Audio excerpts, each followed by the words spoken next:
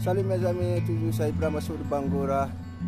Voilà. Donc en fait, je suis là aujourd'hui pour lui montrer comment on va faire un bon salto. Parce que un salto, c'est pas tout le monde qui connaît pour le faire un bon salto. Si tu connais pas le technique, tu vas trop galérer et tu montes pas trop. Le technique, c'est pour les pieds, tu vois. Voilà, faut que tu appuies.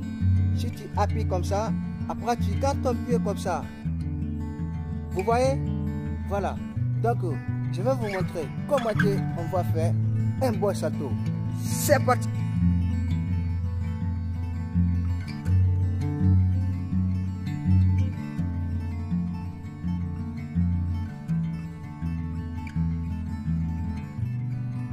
Voilà mes amis, comme vous voyez mon salto, là maintenant, ça à vous. Donc, ne vous inquiétez pas, vais vous montrer comment on va faire un salto. C'est petit à petit. C'est parti. D'accord. Le salto, si tu arrêtes comme ça, tu tends ton pied comme ça, voilà. Tu tends ton pied, tu tends tes bras aussi. Donc là, tu descends un peu. Tes bras, il est en arrière. Là. Tu vois? Donc ici, n'hésitez pas. Parce qu'ici, il faut que tu jettes. Vous voyez?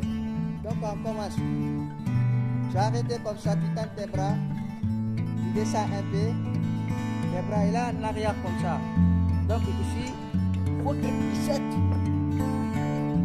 Vous voyez? Si vous faites comme ça, vous allez faire un bon salto. D'accord, un salto, c'est comme ça. Un pas, deux pas.